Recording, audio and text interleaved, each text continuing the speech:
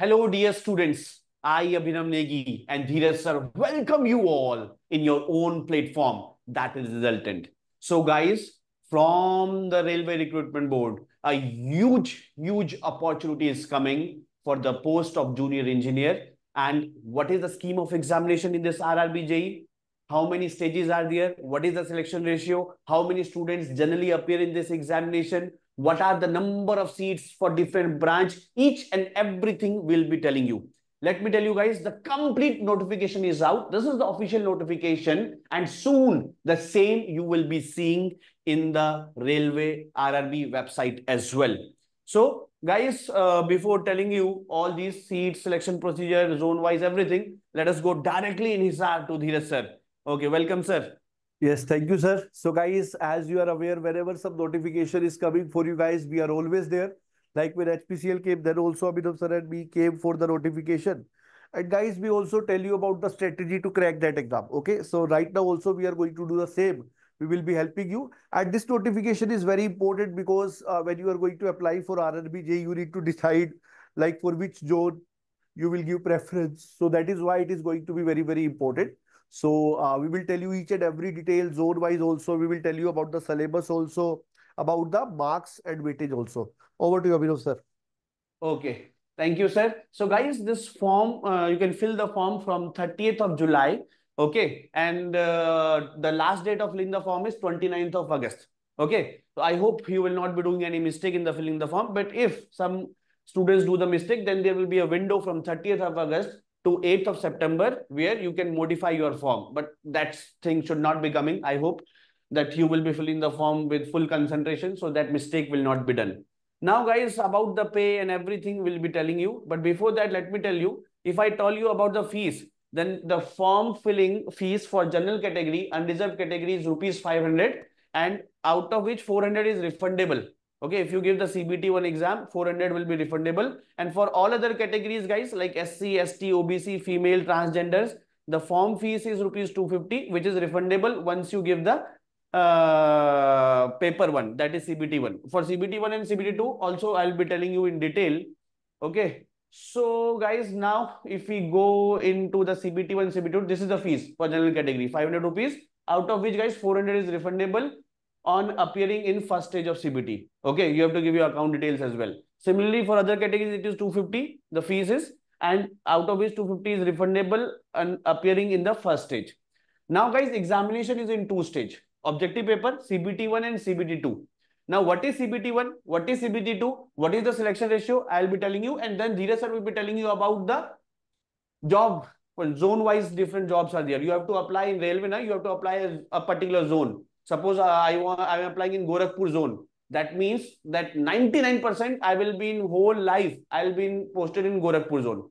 Suppose someone in Chennai or he wants to be reside near Chennai. So he will be filling through Chennai zone. Then his selection will be or everything uh, will be cut off will be as per the Chennai zone. Similarly, someone from Andhra Pradesh, okay, he can fill from Secunderabad zone. His cut off, his competition, his job, everything will be in that zone only.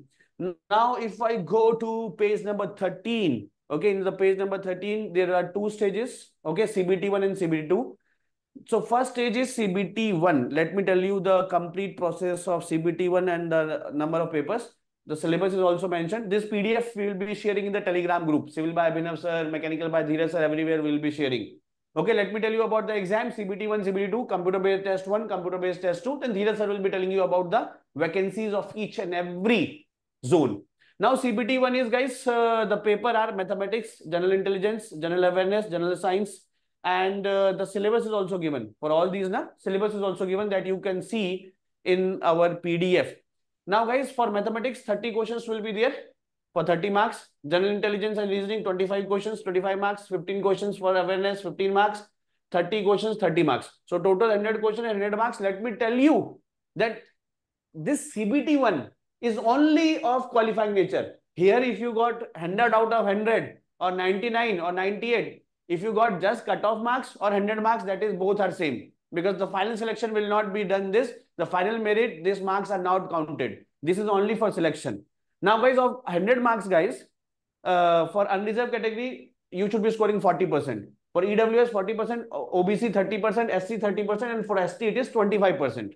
Just this much marks you have to score and negative marking is one third. Now guys, let me tell you 40% suppose for general. So guys, out of guys mathematics, general science and intelligence only, even your GS part is not very, very good. You can easily score 40%. So that CBT one is not very tough if you follow a particular format, if you are uh, doing a little bit of preparation also, that can be done. Now guys, CBT2, all those who will be getting the CBT1 marks or qualifying marks in CBT1, they will be giving the CBT2. Now CBT2, na, suppose a student is civil engineer or he is mechanical engineer. Then guys, 100 questions or 100 marks will be from civil engineering. For a civil student, 100 marks civil. For a mechanical, 100 marks mechanical. Similarly, for electrical, 100 marks will be electrical. General awareness will also be there of 15 questions, 15 marks. Physics and chemistry 15 question 15 marks basics of computers and application 10 question 10 marks basic of environment and pollution pollution 10 question 10 marks so out of 150 ना the two third is technical and one third is the other parts so I can not directly say that all is non technical because physics and chemistry most of the things are relatable to your branches also so if frankly I say ना it is looking like in non technical थोड़ा बहुत engineering आ गया it is not like in engineering examination थोड़ा बहुत non tech आ गया it is looking like वो एक नॉन टेक्निकल एग्जामिनेशन में थोड़ा बहुत आपके पास टेक्निकल uh, एग्ज़ाम आ गया। बट ये with study with them and with good content you can easily score this because the number of seats are huge in this okay now here the merit will be there final merit will be coming here guys okay now guys about the post because you have to select a particular railway recruitment board okay? And whatever board you are selecting, your cutoff will be decided on the cutoff of that board. Your uh, seats will be, you're fighting for those seats which are there. Okay. In that particular zone. And uh, your service will also be in that zone for most of your life or 99% it will be same. Now let us go directly to Dheeraj sir. He will be telling you about the post in different zones. Over to you, sir. Yes. Uh, so, guys, now I would be telling you about uh, the zone-wise uh, bifurcation. So, you can see, my dear, for like RRB Ahmedabad, Western Railway Zone, here for general category 149, for OBC 107, 49 for EWS, 53 for SC, 24 for ST. Total 382 seats are there. Similarly, for RRB Ajmer, uh, Northwest Railway, 268 for general, 109 for OBC, 64 uh, EWS, 61 SC, 27 ST, 529 seats are there. Similarly, if you are talking about the Bangalore, then total 397 is there. These are the category-wise bifurcation. For Bhopal zone, total 485 is there. For Bhubaneswar zone, you can see total 175 is there. For Bilaspur zone, total 472 is there. Then similarly, you can see for Chandigarh, we have 356. For Chennai zone, we have 652. For Gorakhpur, we have 259. For Guwahati, we have uh, around uh, 225. For Jammu Kashmir Srinagar we have 251 Jammu and Srinagar. Then my dear for Kolkata we have 660 for you can see Malda we are having 163 for Mumbai zone we have 1377 this is the highest and then you can see for Muzaffarnagar it is 11 then for RRB Patna eastern central it is 247 for Prayagraj we have 404 for Ranchi we have 167 for Secunderabad 590 for Siliguri we have like 28 And for uh, we have 121. So guys, these are the zone-wise uh, bifurcation and also you can say category-wise bifurcation I have shown you. And if we go to the notification, which sir was showing you, here you can see like syllabus is also mentioned. And before syllabus, I would also like to show you about the branches. Okay. So like if you see the branches also mentioned like uh, your BTech, if it is there from which of the branches, then you would be eligible for which of the post. Okay, so that also I'm showing you. It is a very big notification actually. Uh, 77 uh, uh, slides or you can say pages are there. Okay, so I will show you. Just give me a second. These are the formats of certifications. Uh, now it will come. Okay, so guys, we are coming to the main slide where the branch will also be shown to you. Okay, guys, uh, till sir is searching for that, let me tell you one more thing that many times what you do now, if in a particular zone there are most more number of seats, then you apply for that. That may be a little far away from your home. Let me tell you guys, more or less, what happens that in a particular area where there is more railway network, more, so of course, guys, where will be more uh, people required in railway? Where there is more population, where there is more stations, where there is more uh, railway offices. So this is in proportion. Suppose in a particular area, you I, uh, I in Guwahati the seats are less, or in Chennai the seats are more. Then competition is also almost in the same level. Okay, according to the population, because it is simple process now. There more population, more railway network is there, more people will be there, more offices will be there, so more competition will be there. Okay, so if there are 50 seats and 1 lakh people are fighting for this, and in some other place there are 100 seats but 200 people 200 uh, 100 seats but 2 lakh people will be fighting for that. So ratio wise i'm not saying exact same for all zones but more or less it will be same. Because in those zones where there are less number of seats actually there are less competition also. So ratio wise it will not be very very different among all. But yes slight changes are all, always there. Over to you sir.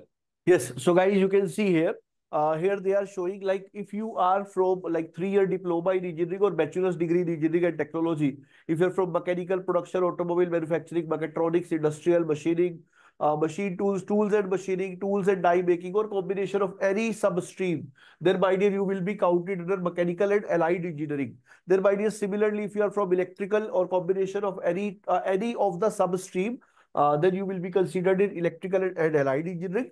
There might be similarly for electronics, instrumentation control, communication, computer science, computer engineering, computer science, IT, you will be considered under electronics and allied engineering. And guys, similarly, if you are from civil engineering and combination of any sub-stream of basic stream of civil engineering, you would be counted in civil and allied engineering. So dear, generally always students have a problem like when they are going to apply for uh, PSU jobs, then they always see, sir, I am from automobile, not eligible for the post. From aeronautical, not eligible for the post. So here that kind of complaint is not there. You can see all, almost all the branches are going to be covered. So guys, that's why I say this is the golden opportunity for those also whose BTech is not from the core branch. So that is a very important point. And you can see in the last of the PDF, they have given the technical part syllabus as well. You can watch that also. PDF is already been shared in our Telegram channels, Mechanical by Dheeraj sir and uh, civil uh, by Abhinav Negi sir. So you can watch the PDF completely and their syllabus is also mentioned.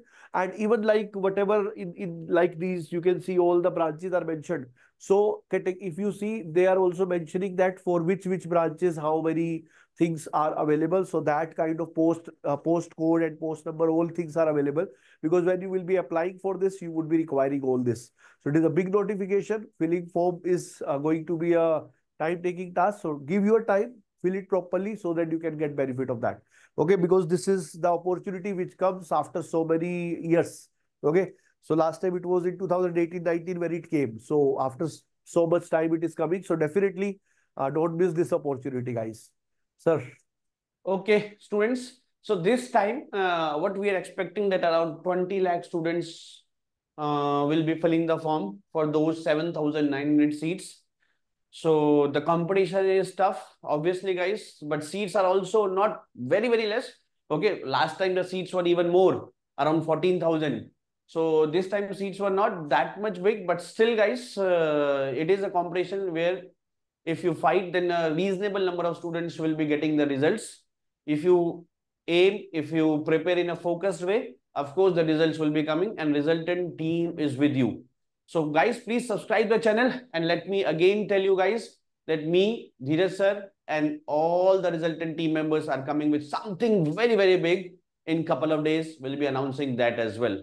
So thank you guys. Subscribe the channel for more such updates. And for any comments now regarding RRB and any zone, please write us on the comment box below and we'll be replying there for each and every comment. Thank you guys. Take care. All the best.